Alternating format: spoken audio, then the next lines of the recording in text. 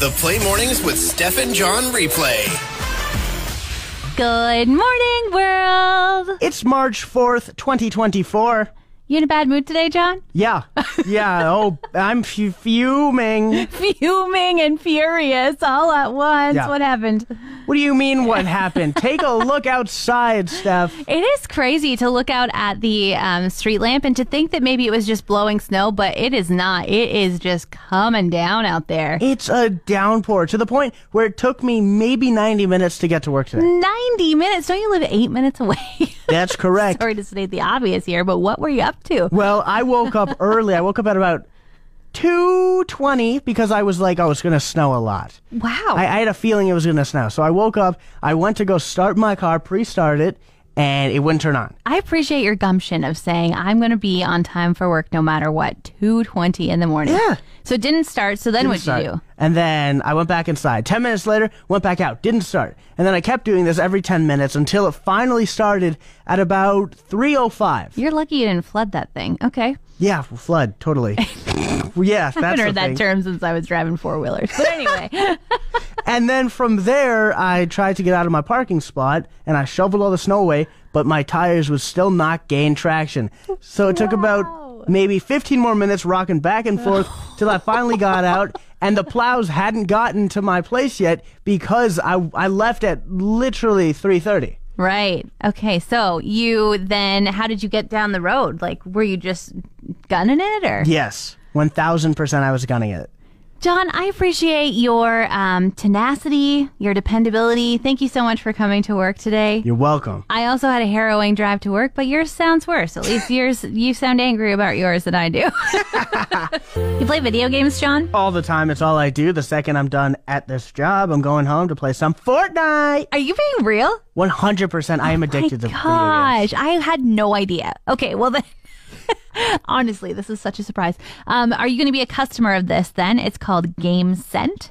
Oh, I think I've heard about this a little bit. So it's like you get cartridges, kind of like air fresheners, but it puts you in the game. Yeah. Trying to break that fourth wall again, where like Yeah. suddenly you're going to smell everything of the atmosphere of where you are in the game. Yeah. Does this sound good to you?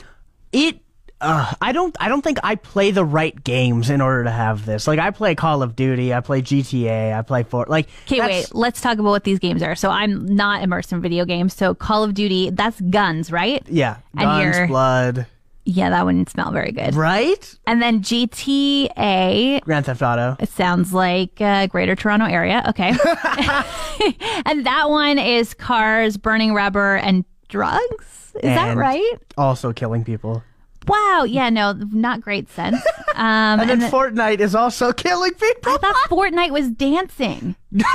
no, wait, It's why? not. It's like the floss and things like that. Didn't that come from Fortnite? that came from Maybe I'm not. I feel like we can't go a week without talking about AI. Oh no, it's just taking over the world. It seems there's another product coming out over and over and over again. Well, there's a new product coming. Oh, what do we got today? Adobe is testing a new AI tool that can create music from text prompts. Did we need this? Well, I we, we might not have needed it, but we're getting it. Users can edit the AI generated music clips with text as well as increasing intensity or extending the length of the clip. But I want to be a little little little more excited about this because again, we've only been just crapping all over AI like AI is going to ruin our life.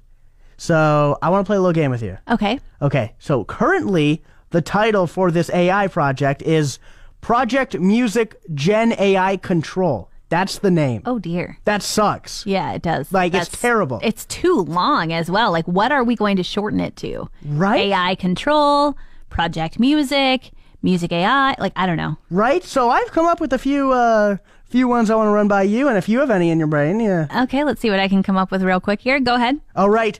My first one was Music Kale. Musical, but in front uh, or behind the A is AI.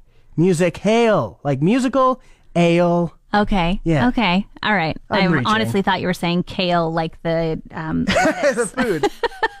okay. How about counterfeit artists? I like that one, but obviously they'll never call it that. But why not? It is counterfeit. Like, I just feel like this AI thing is coming in and saying, here, I can make music as well. And it's like, yeah, but people have worked their entire lives and put the time in to learn how to do an instrument. Are we, is nothing safe anymore? They are counterfeit musicians, counterfeit AI. Okay. Counterfeit artists was my idea. That's so funny. My next one is sound scripter. Sound scripter. That's not bad. Right? Thank That is you. actually really good. I actually really like that one. Thank you. Uh, Alter AI Maestro.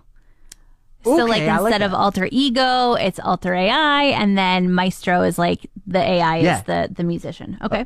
my last, my favorite one by by far is audio, but only the A and the I are capitalized. Audio. So it, it would have to start with an A and then okay. Okay. That's that's not bad because we have Adobe has Audition, it Yeah. has Premiere, it has all those one words. That's Yeah, pretty good. We just have to get rid of Adobe Illustrate Why? because AI. Oh, oh my gosh, I didn't even think about that.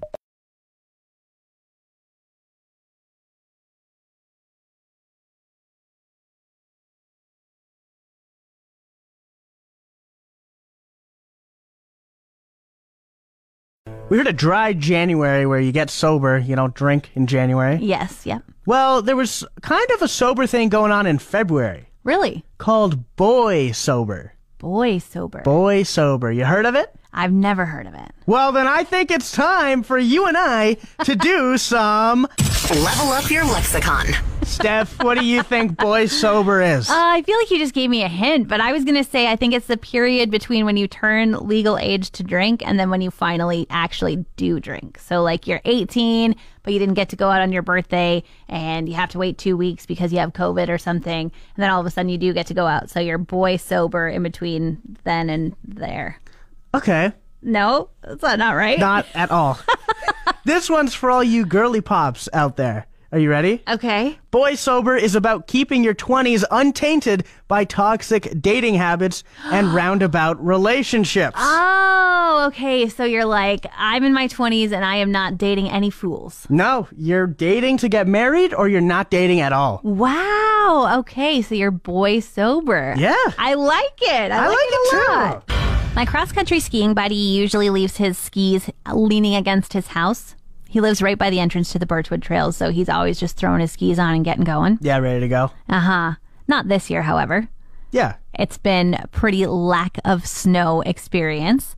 And uh, the other day he said to me, I put my skis away for the winter. They just made me sad every time I walked past them and couldn't throw them on. Yeah, that's fair. And I was like, oh man, I hope you don't jinx us. And then on Saturday, I had to take a trip to the dump, and my skis have been living in the back of my truck since the beginning of winter. And I was like, you know what? I should just give up as well. Yeah. If he's going to put his skis away, I guess I'll put mine away too. And I took them out and I carried them to the shed and I put them in their spot, never to be seen or heard from again until next November. Yep. And then today, Yep. do you think it's our fault? I think it's 1000% your fault. I don't think it could be anybody else's fault more than it's your guys' fault. It was my birthday last week, and my best friend graciously bought me an entire ice cream cake. Wow, that was Yeah. very kind. Right? It, What kind was it? Like, really make our mouths water here. it was an Oreo ice cream sh- Yeah. ice cream sheet cake. Sheet It's cake. one of like the big ones. Okay. Yeah, like a square one. It's not like the tiny little circle one. you are blessed and highly favored to have a friend like that. Right, absolutely. The only problem is I have something called um, a terrible portion control. Is that a is that a syndrome you have? Yeah, I think so. Growing up. I've always I've always had terrible portion control, and boy, did I crush this cake. Two days. I crushed it in two days. Your birthday was last Thursday. yeah, It's gone. the cake is completely a gone. sheet cake, an extra large cake, Yeah, full of ice cream. gone, Wow. eaten. Did you did you cut it? Did you eat it just like one Hey. forkful at a time, or did you slice it up? I'm the only one living in my house. There was just one fork going into that ice cream cake. This is such a bad plan. It was ice cream cake. You should cut things like a piece at a time so that it doesn't melt on you. Or you just were like, I better eat this before it melts. I don't regret it one bit. Not one bit do I regret shoving all of that chocolatey goodness into my gullet. Wow. I'm I'm just not sure I understand the marketplace completely anymore. Marketplace as in Facebook? Facebook Marketplace. Okay.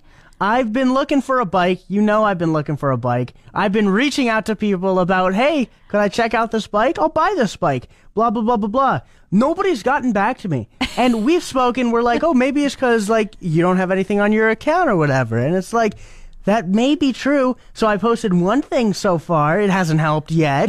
but I don't want to continuously post because then I feel like if I post too much at one time, it'll look even more bodier than if I just have no post. Yeah, that's very true. Like you don't want to get too too crazy here. You want to look like you've been around for a while. Right? Okay, so now you how many messages have you sent? Probably a total of 15 different messages to different bikes. And nobody wants to sell a bike to you. Zero. They're not even looking at the message.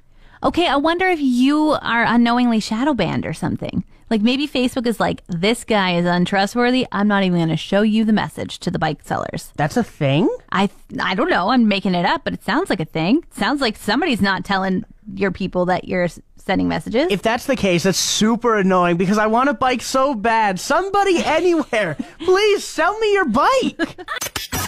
Thanks for listening. Don't forget to subscribe to the Steph and John replay. Find more Steph and John at play1037.ca.